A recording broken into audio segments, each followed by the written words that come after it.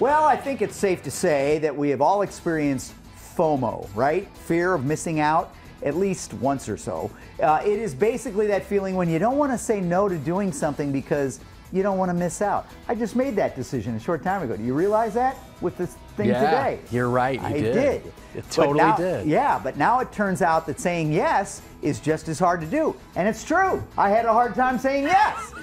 it is called FOSY, or the fear of saying yes.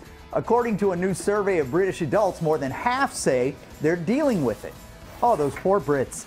30 37% blame it on financial worries, and another 37% claim lack of confidence. Now, those surveyed say the fear of saying yes has made them miss out on making new friends and trying out a new hobby.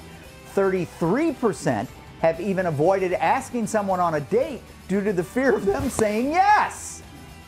Then why would you ask them if you fear them That's saying the yes? different. That's the fear of someone else saying That yes. just That's doesn't a make whole. that feels like a different to thing. me.